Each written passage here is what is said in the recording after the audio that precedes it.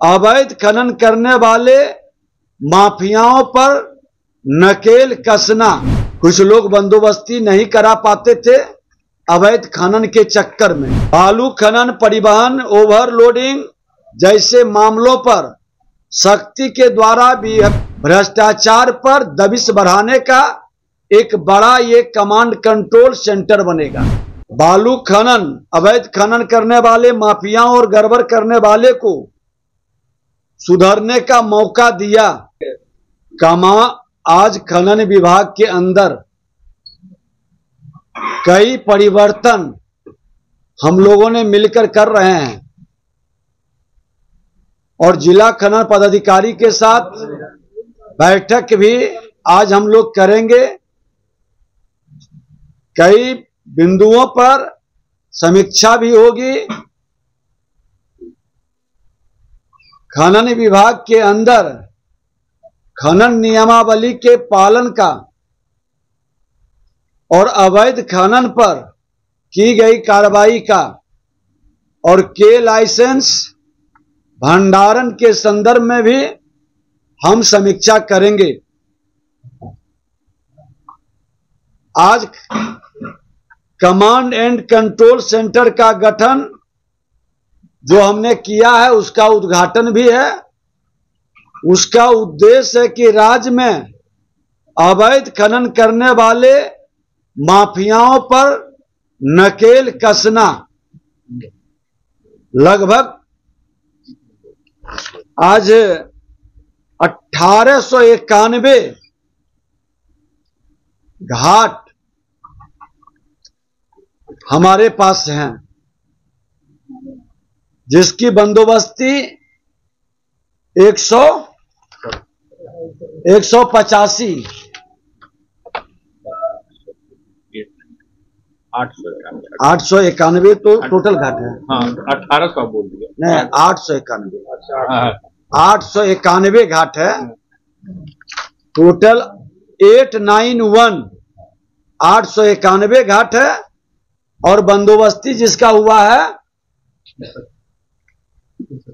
तीन सौ छब्बीस घाट की बंदोबस्ती हुआ, क्योंकि अभी इनके हमारे अपर मुख्य सचिव आए हैं, उसके बाद बहुत सारे घाटों की बंदोबस्ती हुई है। कुछ लोग बंदोबस्ती नहीं करा पाते थे अवैध खनन के चक्कर में। विभाग प्रेशर देकर आज बंदोबस्ती की व्यवस्था का प्रयास किया है। इसके द्वारा जो कमांड कंट्रोल सेंटर हम लोग बना रहे हैं, इसके द्वारा विभिन्न जिलों में प्रतिनियुक्त खनिज विकास पदाधिकारी एवं खान निरीक्षकों के कर्तव्य और ज़िम्मेदारी का भी निर्वाहन का आकलन होगा। यहाँ हेड ऑफ़िस में बैठ करके, विभाग में बैठ करके बालू खनन परिवहन ओवरलोडिंग जैसे मामलों पर सख्ती के द्वारा विभाग की विश्वसनीयता भी बढ़ेगी, राजस्व भी बढ़ेगा, और इंस्पेक्टर राज्य पर अंकुश भी लगेगा। भ्रष्टाचार पर दबिश बढ़ाने का एक बड़ा ये कमांड कंट्रोल सेंटर बनेगा। मैं आप लोगों के माध्यम से बालू खनन, अवैध खनन करने वाले, माफियाओं और गड़बड़ करने वाले को सुधरने का मौका दिया। इस चार महीने के अंदर जो नहीं सुधरेंगे, वो इस विभाग से बाहर भी जाएँगे और कार्रवाई भी होगी। ये प्रकृति का उपहार, बिहार में सीमित खनन और बृहद खनन खनन का जो वरदान मिला है बृहद खनन का बड़ा पार्ट हमारा झारखंड चला गया। नए खोज में हम लोग बृहद खनन के भी कई पार्ट को सर्वे करा रहे हैं।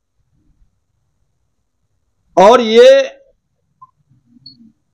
प्रकृति का उपहार बिहार के लिए वरदान बने। ये माफिया और भ्रष्ट मानसिकता से काम करने वाले इसे अभिशाप न बनाए। ये चेतावनी है। खनन विभाग का पूरा अगर जो बंदोबस्ती हम नियमानुकूल करते हैं तो ये रोज़गार का सृजन का एक बड़ा केंद्र होगा। और सरकार के राजस्व का भी, जो राजस्व है, उसको डबल करने का लक्ष्य भी मेरा है। और यह अभियान हमने प्रारंभ कर दिया है।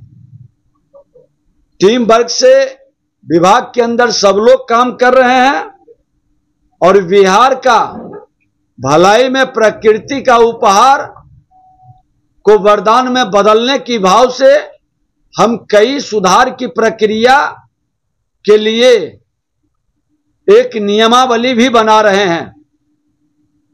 उसमें लोगों के विचार को समाहित करते हुए दूसरे राज्य के व्यवहारिक विषय को देखते हुए बिहार का बेहतर खनन नियमावली आने वाले दिनों में यहाँ के लोगों को, इस कारोबार से जुड़े लोगों को मदद भी करेगा और सरकार का राजस्व भी बढ़ाएगा।